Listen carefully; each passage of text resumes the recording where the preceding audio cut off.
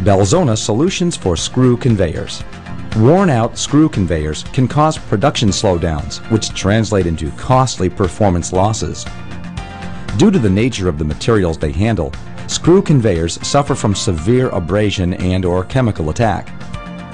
In more severe working conditions, the conveyor shaft may also wear and weaken, causing sag and damage to the trough and flights.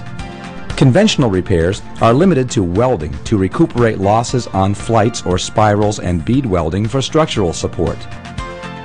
The Belzona solution begins with the selection of the right system for the job.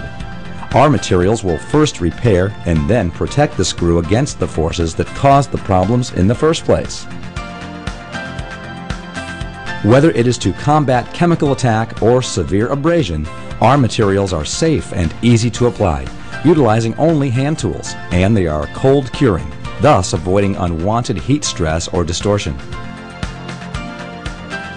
Our materials can be applied onto any surface, including vertical and overhead, and their fast rate of cure allows the auger to be returned to service with minimal delay. Since 1952, Belzona's proven solutions and products have been demonstrated to be a cost-effective alternative to conventional repairs. Shouldn't you be taking advantage of Belzona's know-how in your facility?